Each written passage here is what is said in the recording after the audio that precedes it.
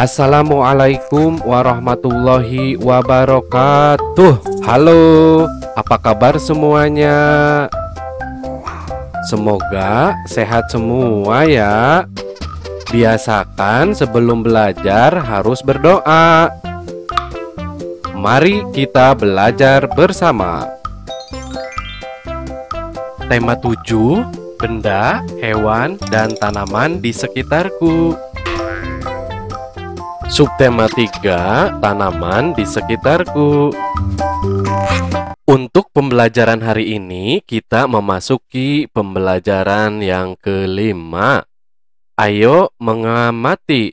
Pada bagian ini kita akan mempelajari macam-macam hasil tanaman Ciri-ciri tanaman Dan manfaat bagian-bagian tanaman. Perhatikan gambar berikut ini Nah, di sini sudah banyak sekali ya jenis dan macam-macam tanaman. Di sini ada pepaya, ada pisang, ada tomat, ada sawi, dan lain sebagainya ya. Kita baca teks di bawahnya. Tanaman terdiri atas beberapa bagian. Ada akar, batang, daun, buah, biji, dan bunga. Setiap bagian tanaman memiliki manfaat. Salah satu manfaat tanaman adalah sebagai makanan. Ada yang dimakan bagian buahnya, contohnya jeruk dan pepaya. Ada yang hanya dimakan bagian daunnya, misalnya bayam dan kangkung. Ada yang hanya dimakan bijinya, misalnya kedelai dan kacang hijau. Kita lanjutkan lagi membacanya di halaman berikutnya. Kita juga dapat memanfaatkan akar atau batang untuk dimakan. Contohnya, singkong dan tebu. Kalau singkong dimakan akarnya ya, sedangkan kalau tebu kita memanfaatkan batangnya. Kita harus bersyukur kepada Tuhan yang menciptakan tanaman. Ayo lingkarilah makanan yang berasal dari tanaman diskusikan dengan temanmu. Kita lihat jenis-jenis makanan di bawah ya. Nah, kita lihat di sini ada susu ya. Apakah susu berasal dari tanaman? Tidak ya, susu itu berasal dari hewan. Nah, di sini ada makanan jagung, berarti ini kita lingkari ya karena berasal dari tanaman. Berikutnya di sini ada nasi. Nasi berasal dari tanaman. Kemudian di sini ada tempe. Tempe berasal dari tanaman juga, berarti ini kita lingkari. Kemudian ada ikan, daging, dan es krim, semuanya bukan berasal dari tanaman. Jadi tidak usah dilingkari. Kita lanjutkan lagi ke gambar berikutnya. Di sini ada keju ya. Keju bukan dari tanaman. Nah, kalau yang ini buah-buahan berasal dari tanaman. Jadi kita harus lingkari. Kita lanjutkan lagi ke halaman berikutnya. Tariklah garis dari gambar ke nama bagian tanaman yang biasa dimakan. Kita lihat dulu gambarnya ya. Di sini ada jeruk, singkong, kangkung, kemudian ada tebu, kemudian ada sawi, ada kol, ada padi, dan ada kedelai. Kita akan menarik garis dari gambar ke nama ya. Di sini ada jeruk. Kira-kira kalau jeruk apa yang dimakan? Berarti ke sini ya, buah. Kemudian di sini ada gambar singkong. Berarti yang dimakannya bagian akarnya. Kita tarik ke akar. Kemudian di sini ada gambar kangkung. Yang kita makan berarti bagian daunnya. Kemudian batangnya juga bisa kita makan ya. Nah, ke sini. Selanjutnya ada gambar tebu. Tebu ini yang kita makan yaitu bagian batangnya, berarti kita tarik garis ke sini ya, ke bagian batang. Kita lanjutkan lagi ke bagian sawi. Kalau sawi yang kita makan itu bagian daun, tarik garis ke sini. Dan juga batangnya bisa dimakan ya, ke sini. Selanjutnya ada kol di sini. Kol yang selalu kita makan bunganya ya. Nah, ini namanya bunga kol. Kita tarik ke bagian bunga. Nah, ke sini. Selanjutnya di sini ada padi. Nah, padi ini yang kita konsumsi atau kita makan yaitu bagian buahnya ya. Nah, bagian ininya yang kita makan. Berarti kita tarik ke bagian buah. Nah, ke sini.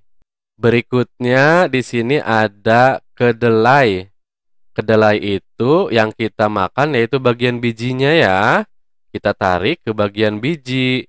Ada di mana ya? Wah, ini ada di atas. Nah, ke bagian biji. Berarti kedelai itu yang dimakannya bagian bijinya. Kita lanjutkan lagi. Berbagai tanaman dapat diolah menjadi makanan. Kita dapat membuat sayur menggunakan kangkung. Kita lanjutkan lagi ke halaman berikutnya.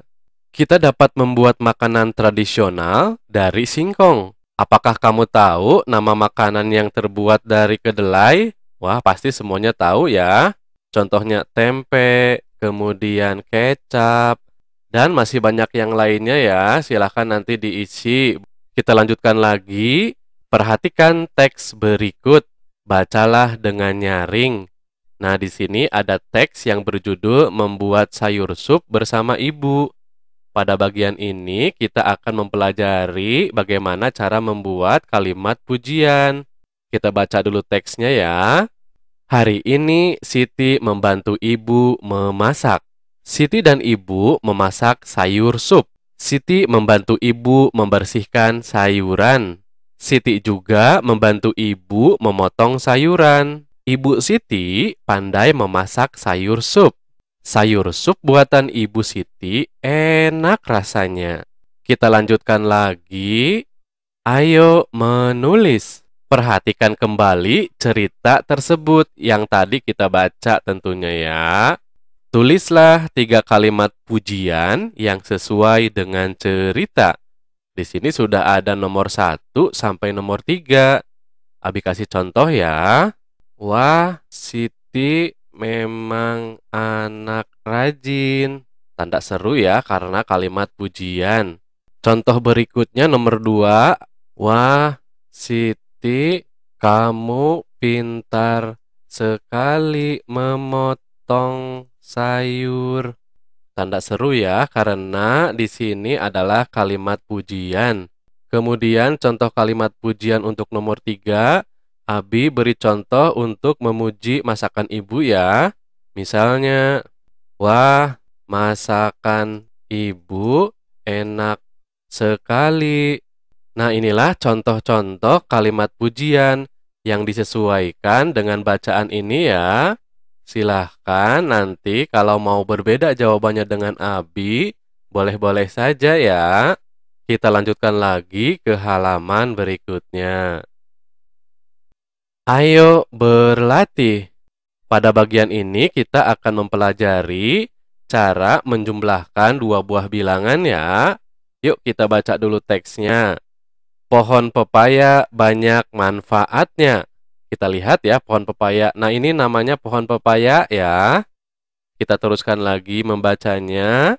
Bagian buahnya dapat dimakan. Bagian daunnya juga dapat dimakan. Biji pepaya dapat ditanam kembali. Biji pepaya tumbuh menjadi tanaman baru. Petani menanam biji pepaya. Petani rajin merawat tanaman pepaya. Pohon pepaya tumbuh dan berbuah. Buah pepaya dipanen dan dijual. Kita lanjutkan lagi membacanya. Seorang petani membawa hasil panen pepaya ke pasar. Nah, ini membawa buahnya ke pasar ya. Petani membawa dua keranjang buah pepaya. Satu keranjang berisi 23 buah pepaya. Satu keranjang lainnya berisi 26 buah pepaya. Pertanyaannya, berapa buah pepaya semuanya? Nah, untuk menjawabnya, kita lihat di halaman berikutnya. Banyak pepaya semuanya adalah 23 ditambah 26, sama dengan 49. Cara penyelesaian lainnya dengan cara penjumlahan susun ke bawah. Kita lihat seperti ini ya. Nah, di sini ada 23 ditambah 26. Caranya kita jumlahkan dari belakang ya, dari satuan. Di sini ada 3 satuan ditambah 6 satuan. Jadi di sini kita isi 9. Kemudian dua puluhan ditambah dua puluhan. Jadi di sini empat puluhan. Untuk penjelasannya kita lihat gambar seperti ini ya. Tahap pertama, jumlahkan satuan. Tiga satuan ditambah enam satuan. Jadi seperti ini ya. Tiga satuan ditambah enam satuan sama dengan sembilan satuan. Ditulis di sini. Kemudian, kita lihat lagi gambar berikutnya. Tahap kedua, jumlahkan puluhan. Berarti yang ini ya, dua puluhan ditambah dua puluhan. Jadi jumlahnya di sini ada empat puluhan. Dua puluhan ditambah dua puluhan sama dengan empat puluhan. Nah yang ini ya, dua puluhan ditambah dua puluhan. Di sini sama dengan empat puluhan. Kita lanjutkan lagi ke halaman berikutnya. Jadi, 23 ditambah 26 sama dengan 49. Kita coba nomor 1 ya. Selesaikan soal penjumlahan di bawah ini. Nah, di sini ada 34 ditambah 24. Nah, untuk menjawabnya berarti kita jumlahkan yang bagian satuan ya. 4 ditambah 4 ditulis di sini 8. Kemudian 3 ditambah 2 sama dengan 5. Jadi 34 ditambah 24 sama dengan 58. Kita lanjutkan nomor 2. Di sini ada 27 ditambah 30. Kita jumlahkan yang satuannya ya. 7 ditambah 0 sama dengan 7. Kemudian 2 ditambah 3 sama dengan 5. Jadi, 27 ditambah 30 sama dengan 57. Kita lanjutkan ke nomor 3. Di sini ada 18 ditambah 41. Jadi, kita jumlahkan 8 tambah 1 sama dengan 9. Kemudian 1 ditambah 4 sama dengan 5. Jadi, 18 tambah 41 sama dengan 59. Kita lanjutkan ke nomor 4, 33 ditambah 34. Kita jumlahkan 3 ditambah 4 sama dengan 7. 3 ditambah 3 sama dengan 6. Jadi 33 ditambah 34 sama dengan 67. Kita lanjutkan nomor 5. Di sini ada 53 ditambah 44. Kita jumlahkan yang satuannya ya. 3 ditambah 4 Ayo berapa? Betul, 7. Kemudian 5 ditambah 4 sama dengan 9. Jadi 53 ditambah 44 sama dengan 97. Kita lanjutkan lagi ke halaman berikutnya. Pasangkan sesuai dengan jawaban yang benar. Nomor 1, 25 ditambah 34. Kita cari 59. Wah, ada di bawah, ada di sini ya. Kita tarik garis ke bawah sini.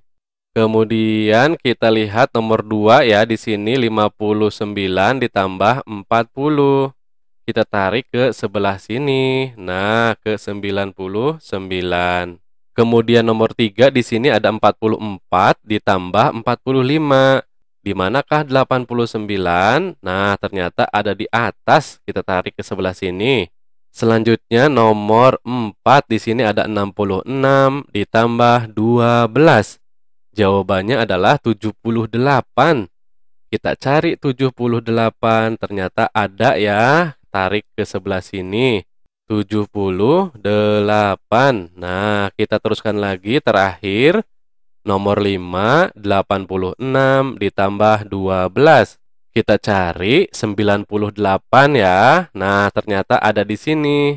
98.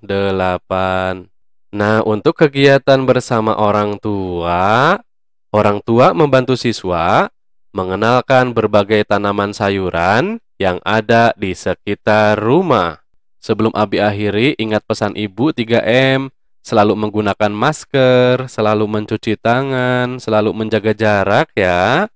Demikian pembelajaran untuk hari ini, semoga bermanfaat. Terima kasih. Wassalamualaikum warahmatullahi wabarakatuh.